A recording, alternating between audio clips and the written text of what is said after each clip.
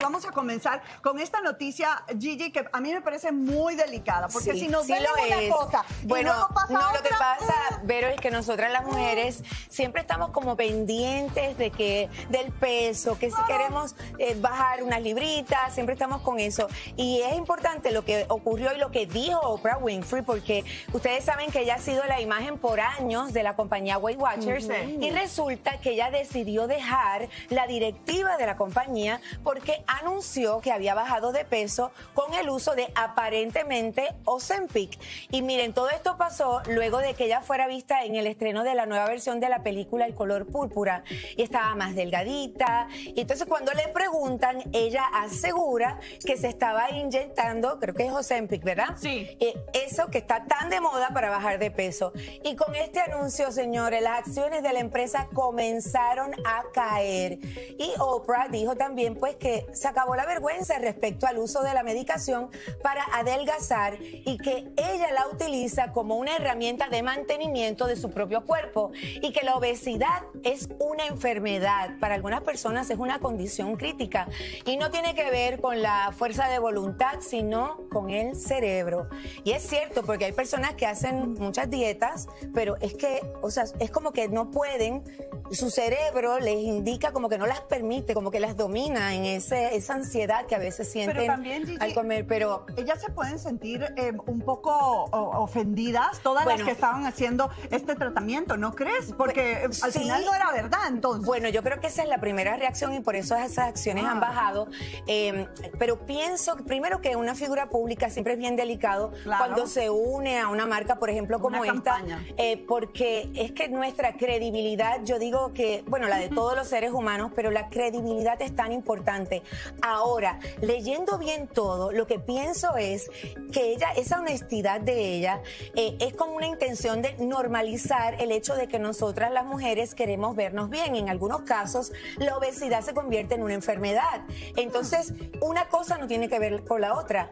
Eh, o sea, esta compañía para bajar de peso que ella ha estado, que era dueña ¿no? de algunas acciones, es una dieta donde tú basada en números Claro, pero y toda ¿qué la me cosa. está Y lo otro, A ver. y lo otro es un A medicamento. ver, Gigi, no la vamos a justificar. Yo aquí, estoy nada, justificando. nada. O sea, Yo sí. aquí Yo hay una, aquí haciendo. hay un grave sí. engaño. A mí me están diciendo que yo, como figura pública, o esa mujer como figura pública, está logrando bajar de peso, yo pienso inmediatamente en su compañía. Claro. Entonces, sí me parece que lo más correcto que hizo era irse de su compañía, pero ya la dejó Creo manchada. que entendió, Ya dejó, sí. yo creo que ella entendió que no podía seguir así, porque la gente empezó a especular, porque todo el mundo está utilizando este otro medicamento. Sí, pero yo me y entonces le tocó ¿eh? decirlo y ahora lo que va a hacer es utilizar este momento para normalizar el uso ¿Y de ahora las dos cómo cosas. su compañía? En el Yo suelo, no porque sé. ella No, no, logró bajar, mucho menos yo. Se vale, yo creo que se vale si te quieres operar, si te quieres hacer la dieta, si te quieres poner, o sea, lo que quieras ponerte, inyectarte los en pica, se vale.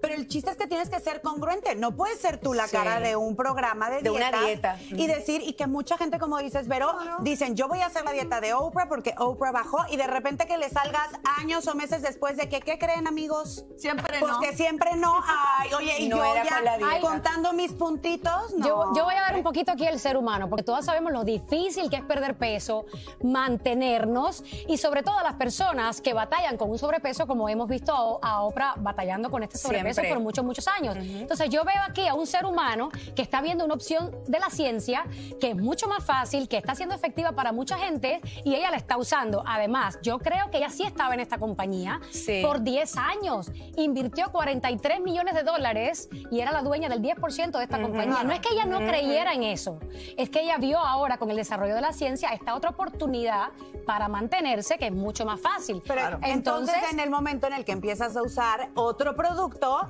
Cuéntalo. agarras porque se vale, claro que se vale. Claro, Nadie entiende pero lo hizo. pero hay veces que Lo hizo. que tú le, le quieres decir a tu cabeza que no comas, tu cabeza te pide porque tienes picos de glucosa, porque tienes Claro. una depresión, pero no puedes vender un producto y estar usando otro y de repente unos meses después salir. No, pero ella usó el sistema por 10 años y acaba de decir que hace un año viene usando Ozempic o, o un tratamiento Sí, para perder peso. Parece que es ese. Ella tiene que darle tiempo también a, a ver si eso funcionaba bien al cuerpo o no. ¿no? Ok, ok, se fue de la compañía, los que la sigan usando, fe, constancia. Ella va a seguir haciendo cosas con la compañía. Otro tipo de cosas. Claro. Porque estas inyecciones y estas cosas lo que hacen es bajarlo rápidamente, pero ya hemos visto los graves, graves deterioros en la salud que han tenido muchas personas porque el cambio para el cuerpo es muy No, rápido. Yo creo que tiene que ir con una dieta. Yo creo que tiene que ir con una dieta. Claro, y eso puede seguir haciendo la compañía Y que estaba usando el la médico, dieta. creo que es lo Claro. más importante. Es lo más-